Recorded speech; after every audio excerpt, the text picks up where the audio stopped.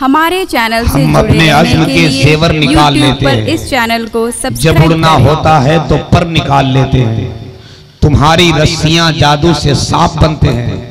ہم اپنے لاٹھی سے اجگر نکال لیتے ہیں۔ حضرات بہت عمدہ خطاب محترم حضرت علامہ اختر رضا چترویدی صاحب نے فرمائی۔ میں صرف نام کا اعلان کرنے کے لیے آیا ہوں۔ میں تو چلا گیا تھا۔ نظامت کی ضرورت نہیں۔ تقریر کے بعد سلام پڑھنے کا ٹائم ہو چکا ہے۔ مگر کمیٹی والوں کی خواہش، ان کی محبت پر قربان، کہ محبت سے پھر سب کو اٹھا کے لے آئے۔ چلیے، آج کی رات ہم نے آپ کا نام کر دیا ہے۔ تو یا تو آپ بلوا لیجیے، یا بلواتے بلواتے خون بکوا لیجیے۔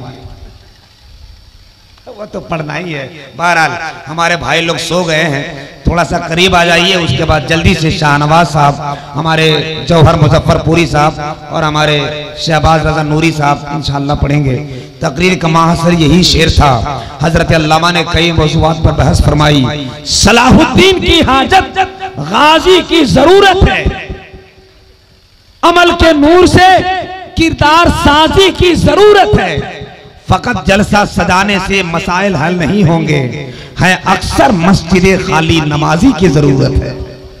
ہے، اکثر مسجد خالی، نمازی کی ضرورت ہے۔ علامہ اکبر علی صاحب قبلہ جو خطیب و امام ہیں، بہت دیر سے بیٹھے ہوئے ہیں۔ آج کے دور میں کوئی اٹھنی نہیں دیتا، مگر ان کی محبت، میں نے ان کو کہا کہ حضرت دس منٹ بول لیجیے۔ بہت پیارا جواب دیا انہوں نے، فرمایا، حضرت، میں تو بولتے رہتا ہوں، میرے مہمانوں کو بلوائیے۔ اللہ سلامت رکھے، ان کے ابتدا میں نماز پڑھنے والے، اب ذرا کرسی لے کے تھوڑا سڑ جائیے تاکہ ماحول بن جائے اور پھر ایک ایک کلام بھائیوں کا ہو جائے۔ کرسیاں لے کے آ جائیے۔ ہمارے انور بھائی بہت پریشان ہیں۔ آ جائیے، کرسی لے کے آ جائیے۔ تھوڑا سا مزاج بن جائے گا۔ پندرہ منٹ کے بعد سلام پڑھ لیا جائے گا۔ آپ کو زیادہ پریشان نہیں کیا جائے گا۔ آ جائے، ذرا قریب آ جائیں۔ دیکھیے، مجمع جب اچھا بنتا ہے، تب جا کر شورائے کرام کا دل لگتا ہے۔ یہ تو چلے گئے سلام۔ اکرام بھائی سو گئے۔ بیٹھیں۔ میری ماں بہنیں بیٹھی ہوئی ہیں بہت دیر۔ ان کو سلام کرتا ہوں۔ دن بھر اپنے شوہر بچوں کی خدمت ساس سسر کی خدمت اس کے بعد رات بھر اپنے نبی کی عشق میں ڈوب کر نعت سن رہی ہیں۔ اللہ سلامت رکھے۔ بہت سارے لوگ اپنی بیٹیوں کی عزت نہیں کرتے۔ ایک شاعر کہتے ہیں دروازے پہ خالی تختیاں اچھی نہیں لگتی۔ اگر آپ لوگ اپنی بیٹی سے پیار کرتے ہیں، تو ایک بار ذرا ہاتھ اٹھا کر اپنی بیٹی کے نام پر بولے، سبحان اللہ۔ ذرا زور سے بولیے نا، زور سے بولیے، سبحان اللہ۔ دھیرے دھیرے بول رہے ہیں، آپ لوگ ایسا لگ رہا ہے جیسے بہت دور سے کوئی گاڑی کی آواز آ رہی ہے۔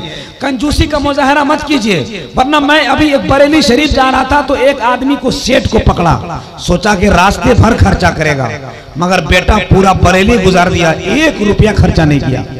میرا موڈ خراب ہو گیا۔ بریلی شریف اسٹیشن پہ اترے تو دس روپیہ کا بادام لیا دو کو پھوڑ کے میرے طرف بڑھایا اور اوپر سے یہ بول دیا کہ ہمارے ساتھ رہیے گا تو ایسی کھاتے پیتے رہیے گا۔ بتائیں مزاج خراب نہیں ہوتا۔ تو مجھے کنجوس لوگوں سے کوئی واسطہ نہیں۔ مجھے تو آپ جیسے نبی کی عاشقوں سے مطلب ہے۔ ایک بار ذرا اپنی بیٹی کے نام پر بولتے سبحان اللہ۔ ذرا زور سے بولے، زور سے سبحان اللہ۔ دروازے پہ خالی تختیاں اچھی نہیں لگتی۔ میری بیٹیاں، میری مائیں میری بہنیں بیٹھی ہوئی ہیں، ان کو سلام، ان کو سونا چاہیے تھا، مگر نبی کا عشق ایسا ہے کہ بستر سے اٹھا کر جلسے میں لا دیا، کہ دروازے پہ خالی تختیاں اچھی نہیں لگتی، مجھے اجڑی ہوئی یہ بستیاں اچھی نہیں لگتی۔ اسے کیسے سمجھ میں آئے گا؟ ماں کے پاؤں تلے جنت، جس کو اپنے گھر میں بیٹیاں اچھی نہیں لگتی۔ اسے کیسے سمجھ میں آئے گا؟ ماں کے پاؤں تلے جنت جس کو اپنے گھر میں بیٹیاں اچھی نہیں لگتی۔ اللہ سلامت رکھے۔ اس وقت جوہر مظفر پوری ایک کلام لے کر آپ کے بیچ حاضر